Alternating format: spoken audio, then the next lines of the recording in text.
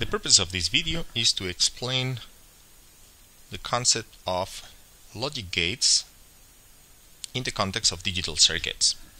Now let's start first by saying that uh, these logic gates are connected with the concept of Boolean algebra. In a Boolean algebra there is typically two symbols which are true and false and in the context of logic gates, true will be represented as the number 1, or also, if we get it closer to the circuit level, it'll be a high voltage, and false will be represented as a 0, or a low voltage. And then in the context of Boolean algebra as well, we have three basic operations, which are the conjunction, the disjunction,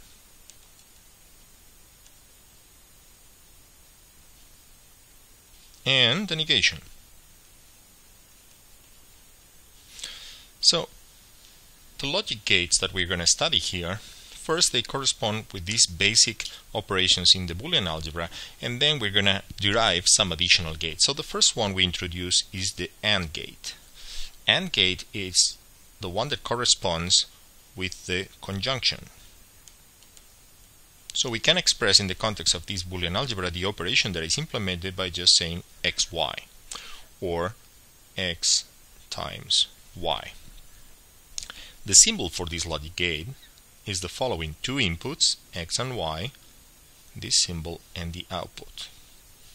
Now what we are assuming, not only for this gate, but for all the gates that we're going to describe next, is that there is some sort of direction between the inputs towards the output. So once the inputs are set to certain value, almost instantaneously the output will follow certain rule, which in the case of the AND gate is that the output is 1 if all inputs are 1. And what we're not going to say, but it's implicit, is like otherwise the output is 0. So let's review again the definition of this gate. Again, it corresponds with the operation conjunction in the Boolean algebra in Boolean algebra, we represent this operation with x times y, either like this or like that. We remove the operator and we just put symbols one next to each other. The symbol represented in this gate is the one over here. And whenever these two signals or all of the inputs of this gate are equal to 1, then almost immediately the output will also be 1. So this is what defines the behavior of the AND gate. Let's look some other additional logic gates. The next one I want to talk about is the OR gate. And it's interesting because it corresponds with the operation of the disjunction in our Boolean algebra. And if we follow the same derivation process as we did for the AND gate, the Boolean operation that is implemented is represented like this, x plus y, in terms of algebraic uh, expression, but the symbol we typically use when we draw the circuit is this one. Again, two inputs, and the output x and y.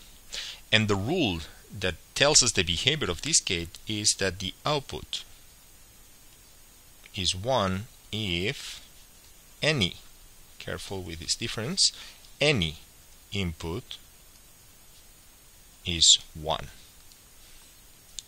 0 otherwise so as you can see, the difference between these two gates is that in order for this gate to produce a 1 in the output, both the inputs, actually all the inputs have to agree on value 1. Whereas for this one, for the OR gate or for the disjunction, it is enough for one of these inputs, any of them, to be 1 and the output then will almost immediately become 1. The third operation, which is trivial, is the negation. Or the gate is called NOT. The operation is negation. The boolean expression that is implemented this gate is simply x prime the negation of x and the symbol is very simple. It's just something like this and the rule is equally trivial. Output is opposite value than input so again, you can imagine this gate as sensing what kind of value is in here and the output will have exactly the opposite. So x equals 0 will produce an out equal 1, x equal 1, out equals 0. So these are three basic logic gates, but when we implement circuits, there are actually quite a lot of additional ones that are used. One of them is, is called NAND, and is somewhat related to the AND or conjunction we've seen here. In fact, we call this not AND, or an AND that has been negated. Actually, this AND over here is the reason to use the not AND. What is the Boolean expression? Well, it's just an AND, a conjunction with a negation. Therefore, the Boolean expression is this one. And the symbol, here we could use a symbol which is a combination of these two because what we are saying is that we have an AND that then negate the output. So it could be something like this with an inverter connected to the output. So this would be X, Y, and out. However, typically what happens rather than using these two circuits next to each other we collapse them in one single symbol and this gate is typically represented like this X, Y and out and as you can see is as if this inverter has collapsed into this shape we preserve the shape and we maintain just the circle of the inverter what is the rule governing this gate well we can deduce that knowing what the AND does and what the NOT does.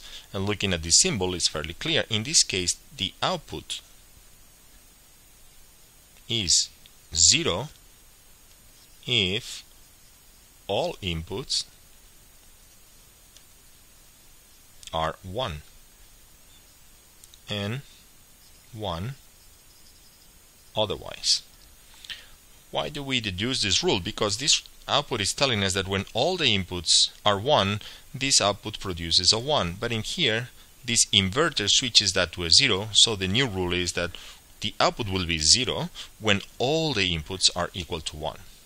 So this over here describes the behavior of the NAND gate.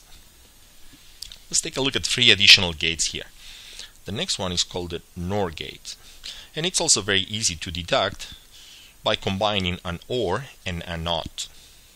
So we could call this gate the NOT OR gate. And similarly to what we described here in the case of the NAND gate, this will implement the operation OR x plus y with a negation. So it's x plus 1 prime. And again, we're going to play the same trick we did here. And rather than representing this gate by an OR followed by an inverter, we're going to collapse the inverter. And the resulting symbol that we're going to be using in our circuits is this one with a circle at the end for the output. And the rule for this gate can also be very easily deducted, deduced from the behavior of the OR and the NOT, namely the output is 0 if any input is 1. 1 otherwise. So again, as in the case of the NAND gate, we have derived the NOR gate by simply assuming that we take an OR gate and we negate the output and the OR gate follows the rules described here and the inverter the rules of the negation. So let's now describe two additional gates that are very useful when designing digital circuits. The first one is called XOR as an abbreviation for exclusive OR and it's represented in Boolean expressions as a plus surrounded by a circle and the symbol is similar to the OR but with an additional line next to the input. So this is X, Y and the output. Now this is a logic gate that has a very interesting rule.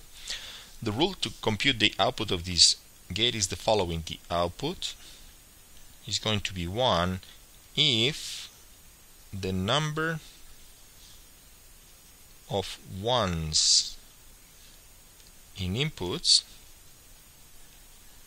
is odd is an odd number now for this gate it's kind of trivial because since we only have two inputs, the only possibility is to have either none of them to 1, which would be zero number of ones, one of them to 1, or both of them to 1.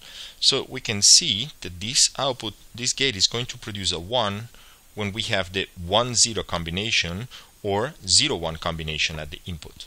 For the other two remaining combinations, 0, 0 and 1, 1, since both combinations they have an even number of ones, one has 0 ones, the other one has two ones, then this output will produce a 0. And the same trick we apply to derive the NAND gate from the AND gate and the NOR gate from the OR gate, we can apply to derive the XNOR gate or the not exclusive OR. The expression is very simple, is the same one than before but with a negation. And the symbol, we apply exactly the same technique we applied here and we just modify our little symbol same as before but now with a circle at the end. So this is X, this is Y, and this is the output.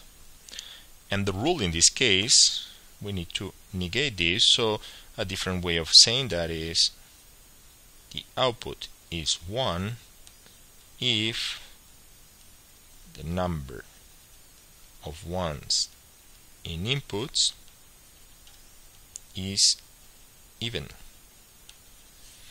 So in this case the XNOR gate for the two input combination we see here will produce a 1 when we have the combination 0 0 and 1 1 which are the ones that have an even number of ones.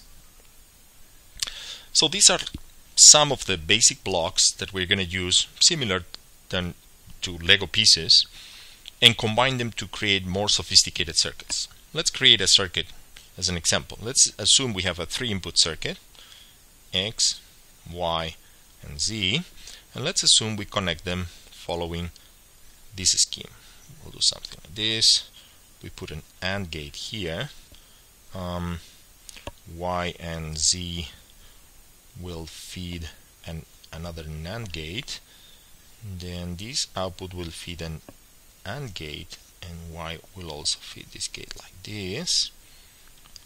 Um, the output of this gate is going to enter an XOR together with the value we obtain by negating this wire over here.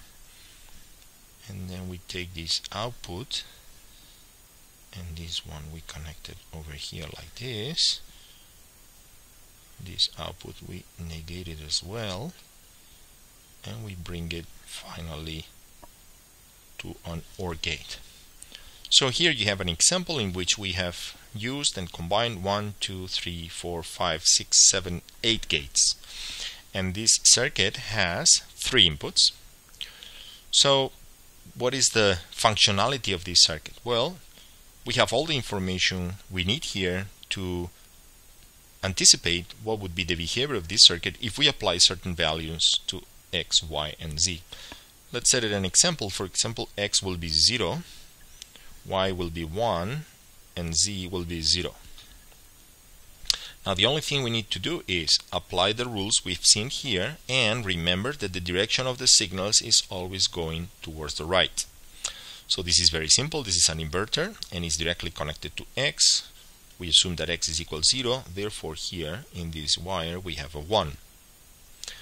Um, this gate over here is an NAND gate this type and it has a 1 0 combination. Now the rule is that the output is going to be 0 if all the inputs are 1 in this case not all the inputs are 1 therefore the output is not going to be 0 it's going to be 1 which means there will be a 1 in this wire.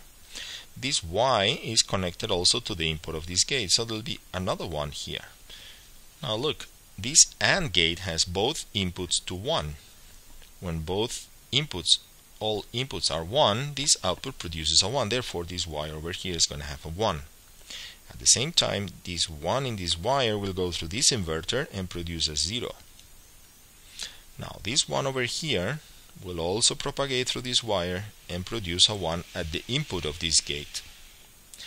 Now this is an AND, a NAND gate. We go here to the rules and says that it produces a, a 0 if all the inputs are 1, which is precisely the case. Therefore, the output of this gate will be a 0, which itself is the input of this inverter. So this will produce a 1 here. This gate over here that remains to be evaluated, it's an XOR gate. And we have a 1 and a 0. We have an odd number of ones here. Therefore, this is the case where the output is going to be 1 because the number of ones in its input is just an odd number. So we'll produce a 1 here and the final result of the circuit is a 1. So here we can see first how the logic gates are defined with their rules, how they can be connected, and with this connection we have something similar to a Boolean expression because as we can see, and this is the connection between logic gates and the Boolean algebra, we'll have here a function that receives three possible symbols, each one taking values 0 or 1, and produces an output. And of course, in order to derive the truth table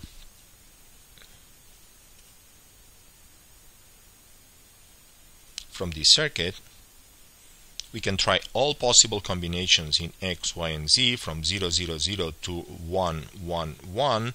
We apply these rules the same way we did here. We applied for the 0, 1, 0 combination, but we can obtain the rest of the values and very easily derive the truth table from the circuit that is made out of logic gates.